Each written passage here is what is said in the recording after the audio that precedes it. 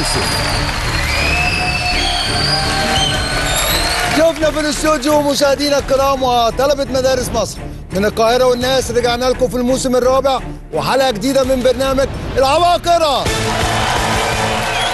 برنامج العباقرة. يقدم إليكم برعاية من يهتم بالتعليم في مصر. البنك الأهلي المصري بنك أهل مصر. في الموسم الرابع من العباقرة يا ترى مين اللي هيفوز بكاس البطولة؟ ويا ترى مين الطالب اللي هيفوز بكاس أفضل لاعب؟ أما المكسب الأكبر إن كل إجابة صحيحة من طلاب بطولة العباقرة هتساوي مبلغ نقدي في المرحلة الأولى. كل نقطة ب 2000 جنيه وهيتضاعف الرقم وصولا للمباراة النهائية. جميع المبالغ المالية في آخر الموسم سوف تستثمر لتطوير المدارس الحكومية في مصر. العباقرة بشراكة البنك الأهلي المصري. بنك أهل مصر.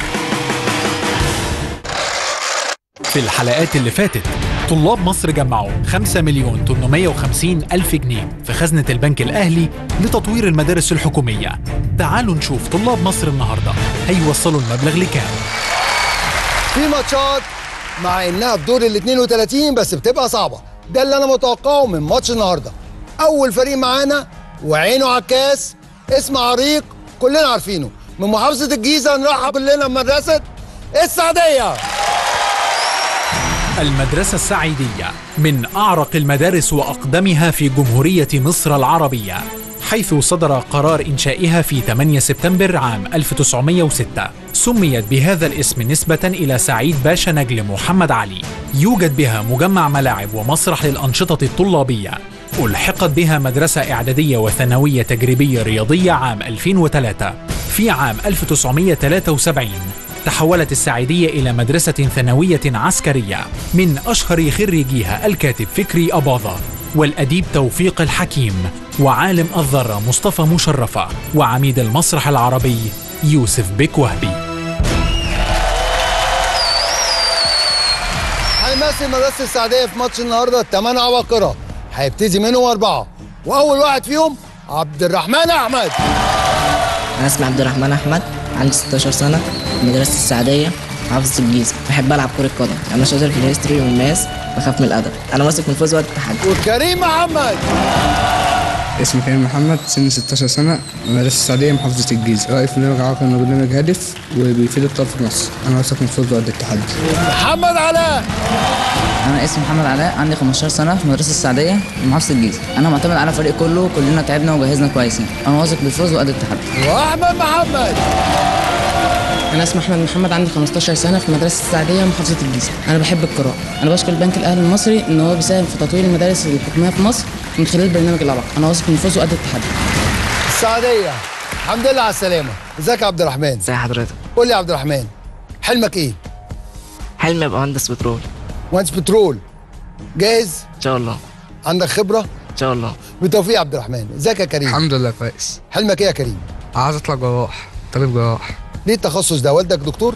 لا. انت قررت عايز تبقى جراح. بالتوفيق يا كريم. ازيك يا محمد؟ الحمد لله زهر. حلمك إيه يا محمد؟ نفسي اطلع مهندس معماري. اشمعنى معماري؟ هو شايفها مفيدة يعني وأحلى. مبسوط فيها حاسس إن أنت. هتبتكر و... وصاحب ذوق رفيع ونضارة زرقاء و... صح؟ الله. بالتوفيق يا محمد. ازيك يا أحمد؟ الحمد لله. جاهز يا أحمد؟ آه. حلمك إيه؟ أبقى دكتور إن شاء الله. دكتور إيه؟ دكتور عظام. عظام. متخصص من أولها. بالتوفيق يا أحمد. وبالتوفيق مدرسة السعدية. أما المدرسة الثانية واللي واضح إن هم كمان واثقين من نفسهم. شباب زي الفل. من محافظة القليوبية نرحب كلنا بمدرسة منيس الدولية. مدارس مينيس الدولية للغات. اسم رائد وصرح شامخ في عالم التعليم في مصر. تأسست عام 1990 على يد رائد من رواد التعليم في مصر وهو الدكتور سعيد ندى. تهتم مدرسة مينيس ببناء شخصية الطالب القادرة على الإبداع والابتكار للرقي بالوطن. وتهتم المدرسة أيضا بأعضاء هيئة التدريس وأهم ما يميزهم المهارات الخاصة باستخدام التكنولوجيا في مجالات التخصص والقدرة على خلق جو من الألفة والتحفيز على التعليم. في مدارس مينيس أنشطة واكتشاف مواهب ورحلات داخلية وخارجية وحفلات وأجواء ممتعة.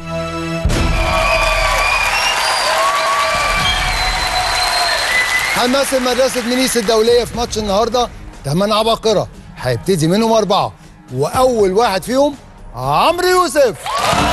أنا اسمي عمرو يوسف عندي 16 سنة من مدرسة مينيس محافظة القليوبيه أنا شاطر في ال physics وال chemistry. أنا معتمد على الفريق كله كلنا بنكمل بعض وكلنا فريق واحد. أنا واثق من الفوز وقد التحدي. هنا توفيق!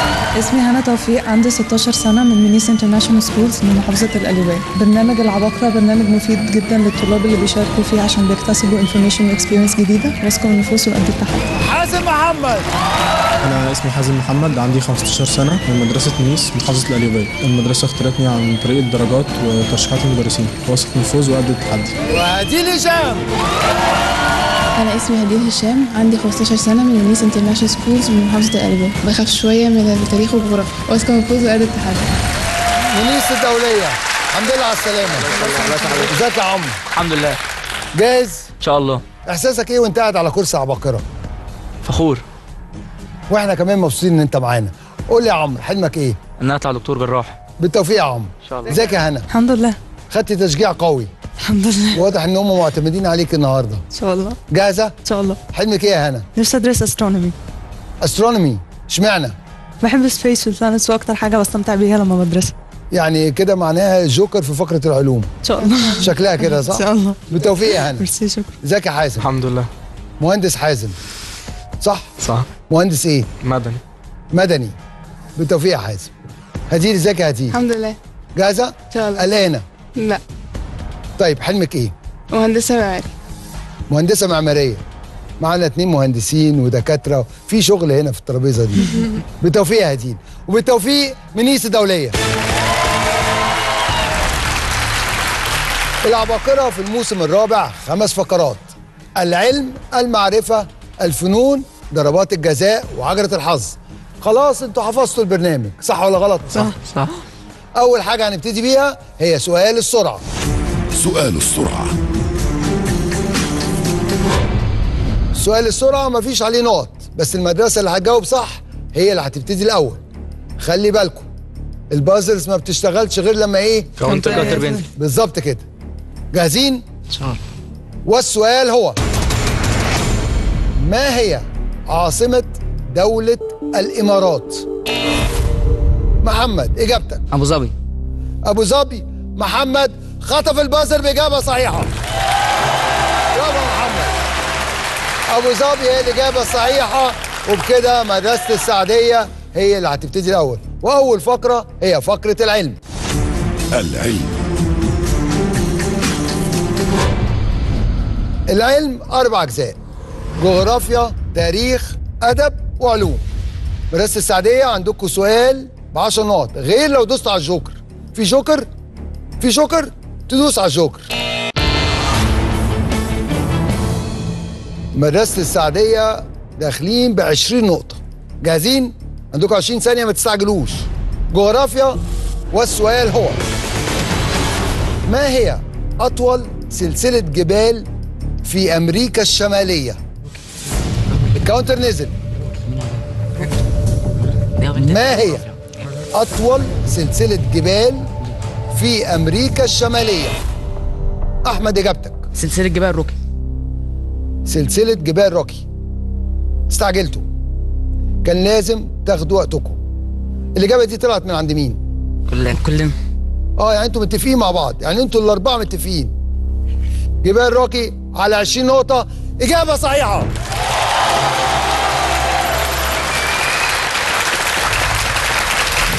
جبال الروكي هي الإجابة الصحيحة. وبكده السعدية 20 منيس لسه ما فيش نقط بس في سؤال في الجغرافيا. ب 10 نقط ولا ب 20 نقطة؟ 10 ب 10 نقط. جغرافيا والسؤال هو في أي دولة يقع نهر اللوار؟ في أي دولة يقع نهر اللوار؟ إجابتك يا حازم فرنسا. دي إجابة ولا لا سؤال؟ فرنسا إجابة. إجابة؟ إجابة إن شاء الله. طب إجابة صحيحة ولا إجابة خاطئة؟ ست ثواني. مستعجلين ليه؟ حازم أول عشر نقط. إجابة صحيحة. فرنسا هي الإجابة الصحيحة. برافو يا حازم. بس برضو بقول لكم خدوا وقتكم. وبكده النتيجة 10 منيس 20 السعديه والسعديه عندكم سؤال في التاريخ بس ما عندكوش جوكر. استخدمتوه خلاص. تاريخ والسؤال هو. ما هو منصب عدلي منصور قبل توليه الحكم في الفترة الانتقالية؟ منصبه كان إيه؟ فاضل 12 ثانية. 8 ثواني. أربعة. كريم إجابتك. رئيس وزراء. رئيس وزراء. كريم رئيس وزراء. إجابة خاطئة. فرصة تتعادلوا. هديل إجابتك. رئيس المحكمة الدستورية؟ رئيس المحكمة الدستورية. الإجابة طلعت من عندك؟ آه. رئيس المحكمة الدستورية. إجابة صحيحة. يا هديل رئيس المحكمة الدستورية العليا. هي الإجابة الصحيحة وبكده النتيجة منيس 20 السعدية 20 ودلوقتي عندنا السؤال الثاني في التاريخ. في جوكر؟ مفيش جوكر. تاريخ والسؤال هو ما هي الدولة التي استطاعت أن تحصل على مقعد دائم بمجلس الأمن بفضل عدد سكانها. كاونتر نزل وفاضل 15 ثانية. مستعجلين قوي يا منيس قوي. عمرو إجابتك. الصين. الصين؟ لا وبعد لو قاعدة كده صح؟ آه لا وواثق من نفسك. عمرو الصين ب 10 نقط. إجابة صحيحة. برافو يا عمرو. وبكده النتيجة 30 منيس 20 السعديه عندكم سؤال في الأدب والمباراة لسه في أولها. مفيش قلق خالص. جاهزين؟ أدب والسؤال هو من هو مؤلف رواية يوتوبيا. كاونتر نزل. مين اللي ألف رواية يوتوبيا؟ وفاضل عشر ثواني. خمس ثواني. إجابة ولا تخمينة ولا فتاية فتح آه، تفرق. فيكتور هوجو فيكتور هيوجو صح؟ فيكتور هيوجو إجابة خاطئة. في فرصة تخطفوا 10 نقط. هتجاوب ولا هتفتي؟ هجاوب إن شاء الله. إجابتك يا عمرو. أحمد خالد توفيق. لا أنت سألت دلوقتي ما جاوبتش. أنت عادة بتجاوب المرة دي سألت. أحمد خالد توفيق صح؟ عمرو. أحمد خالد توفيق ب 10 نقط. إجابة صحيحة. برافو يا عمرو برافو يا عمرو أحمد خالد توفيق هي الإجابة الصحيحة. برافو عليك يا عمرو وبكده النتيجة منيس 40 السعدية 20 ودلوقتي السؤال الثاني في الأدب. جاهزين؟ جاهزين. جاهزين إن شاء الله. أدب والسؤال هو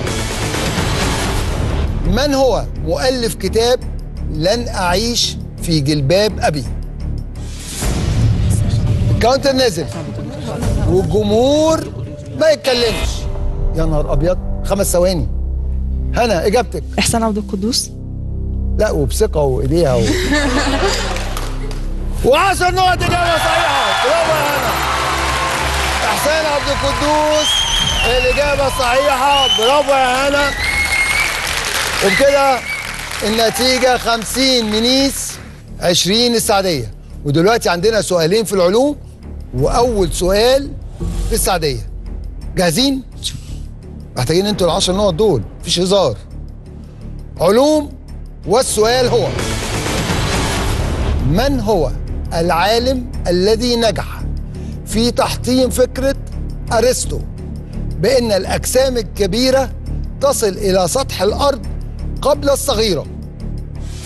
كاونتر نزل عندكم لسه 15 ثانية. تقدروا تتكلموا مع بعض. كريم إجابتك. نيوتن. نيوتن. استعجلت. ونيوتن. إجابة خاطئة. إجابتك. جاليليو جاليليو على كام نقطة؟ 10 10 كنتوا نقط إن؟ شاء الله. 50 بقيتوا 60 إجابة صحيحة. برافو. برافو يا هنا. جاليليو الإجابة الصحيحة.